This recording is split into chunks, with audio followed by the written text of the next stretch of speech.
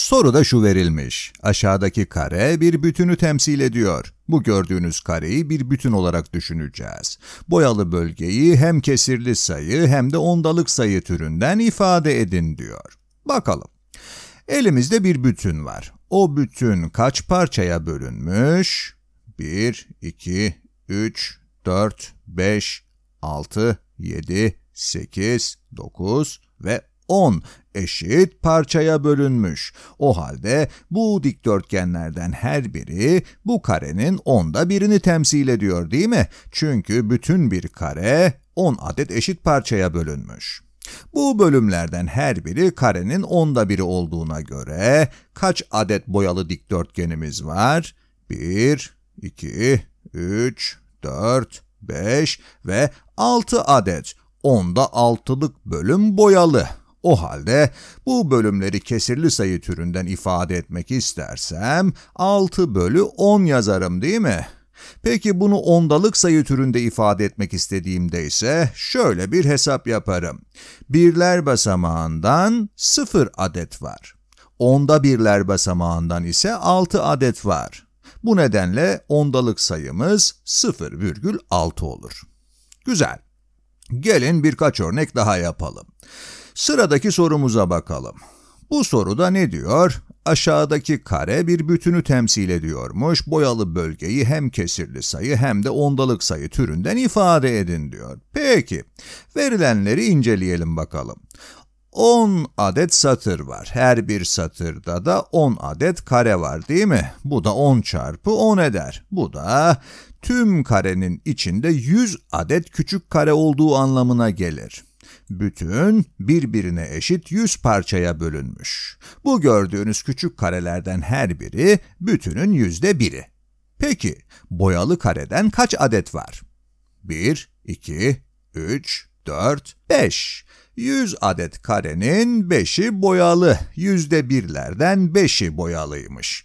Kesirli sayı olarak ifade etmek istersem 5 bölü 100 yazarım. Ondalık sayı olarak yazmak istediğimde yöntemim yine aynı. Birler basamağından 0 adet, onda birler basamağından da 0 adet var ama yüzde birler basamağından 5 adet var. Güzel. Başka sorularla devam edelim. Sıradaki sorumuz neymiş? Görelim. Evet, sayı doğrusu üzerinde gösterilen mavi noktanın yerini hem kesirli sayı hem de ondalık sayı türünden ifade etmemiz isteniyor. Önce biraz düşünelim. Bu nokta 2 bölü 10, bu noktada 3 bölü 10. Sayı doğrusu üzerinde neler var? 0, 1 bölü 10, 2 bölü 10 ve 3 bölü 10. Ayrıca her bir onda birlik bölümde 10 eşit parçaya ayrılmış değil mi? 1, 2, 3, 4, 5, 6, 7, 8, 9 ve 10.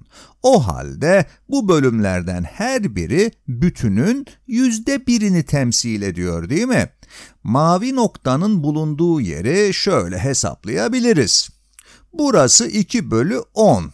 Elimizde 2 adet onda bir var. Ayrıca 1, 2, 3, 4, 5, 6 ve 7 adet yüzde bir var. 2 adet onda bir ve 7 adet de yüzde bir.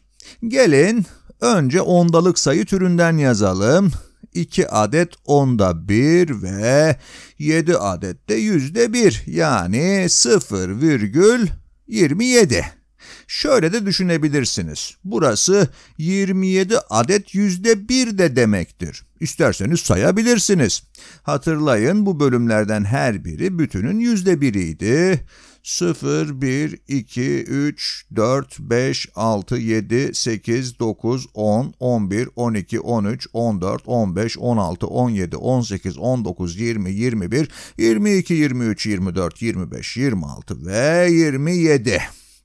Evet 27 adet yüzde bir. Çoğu kişi kağıtta 0,27 sayısını gördüğünde bu sayının 2 adet onda birden ve 7 adet yüzde birden oluştuğunu düşünmez. Akıllarına gelen ilk şey 27 adet yüzde birden oluştuğudur. Peki 0,27'yi Kesirli sayı olarak nasıl ifade ederiz? E bu çok basit. 27 bölü 100 değil mi? Evet bugün soru çözme havamdayım. Hemen bir örnek daha çözelim. Aşağıdaki kare bir bütünü temsil ediyor. Boyalı bölgeyi hem kesirli sayı hem de ondalık sayı türünden ifade etmemiz isteniyor. Bütünün 100 adet eşit parçaya bölündüğünü biliyoruz. Bu küçük karelerden her biri büyük karenin yüzde biri. Peki kaç adet boyalı kare var? İlk satırda 10 adet var, ikinci satırdakilerle birlikte 20 adet eder, bir de bu var, 21. O halde kesirli sayı olarak yazarsak 21 bölü 100. Ondalık sayı türünden neye eşit olduğunu bulmanın farklı yolları olduğunu öğrendik. Bunlardan biri nasıldı? 2 adet onda 1, 20 adet yüzde bir de eder. Virgülden sonraki ilk basamağı 2 yazalım. Yüzde bir içinde 2'nin yanına 1 yazıyoruz. Bunu başka nasıl okuruz? 21 adet yüzde 1. Şöyle de düşünebilirsiniz. İlk satır bütünün onda biri, bir üstteki satırda bütünün onda biri, 2 adet onda bir etti. Bir adet de yüzde bir var. Sonuç olarak ikisi de aynı kapıya çıkar. 21 adet yüzde bir de diyebilirsiniz.